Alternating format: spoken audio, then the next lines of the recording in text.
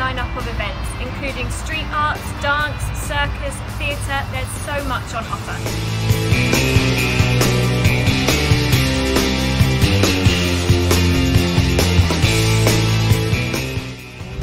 There's something for all the family to enjoy, from watching performances to taking part in workshops and even having a drink at our pop-up bar.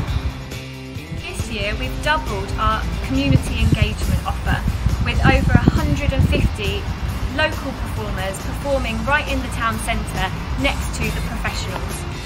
And the best bit of it all is that it's free to attend with generous support from Eastleigh Borough Council and Arts Council England.